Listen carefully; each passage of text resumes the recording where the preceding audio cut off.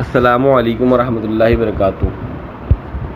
حکیم الامت مجدد الملت، حضرت مولانا شفیع صاحب تھانوی رحمۃ اللہ علیہ کا جو ملفوظ اس وقت پڑھ کر سنایا جا رہا ہے، اس کا عنوان ہے، نفلی عبادات میں کمی اور زیادتی شیخ کے مشورے سے ہونی چاہیے۔ ارشاد فرمایا کہ تلاوت قرآن اور کثرت نوافل سب سے افضل عبادت ہے اور یہ مقاصد ہیں۔ انہی دو چیزوں کی صلاحیت کے لیے تاریخ میں ذکر و شغل کی تعلیم ہوتی ہے اور وہ سب مقدمات ہیں۔ ان میں شیخ کی بھی ضرورت ہے۔ اس لیے کہ بعض اوقات کچھ خطرات بھی پیش آتے ہیں اور مقاصد میں کوئی خطرہ نہیں۔ پھر یہ دونوں ذکر اللہ پر بھی مشتمل ہیں۔ ان دونوں کی بھی روح اعظم ذکر ہی ہے۔ وہ خود ان میں مضمر ہے۔ باقی مستقل افکار مثلاً سبحان اللہ، لا الہ الا اللہ۔ ان سب سے تلاوت قرآن اور نماز افضل ہے۔ نماز اور قرآن کی آج کل کے اکثر مشائق کے دن میں وقت و عظمت نہیں۔ تمام زور ذکر پر دیا جاتا ہے۔ حالانکہ ان میں ایک اور لطیف فرق بھی ہے۔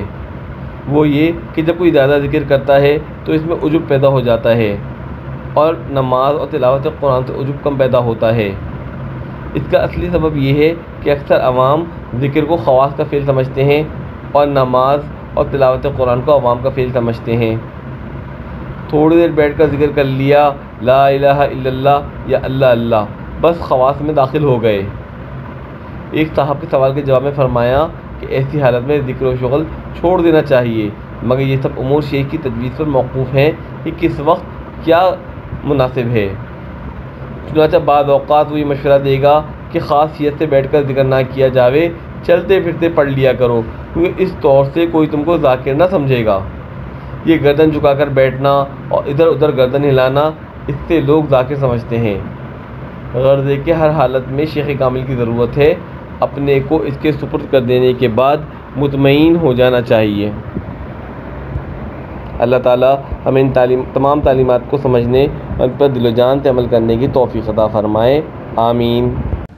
حضرت اقدس تھانوی رحمۃ اللہ علیہ کے علوم و معارف پر مبنی ملفوظات کی تحریری پوسٹ اور آڈیو پوسٹ کا سلسلہ تالیفات آن لائن بک اسٹور کے فیس بک پیج پر جاری ہے۔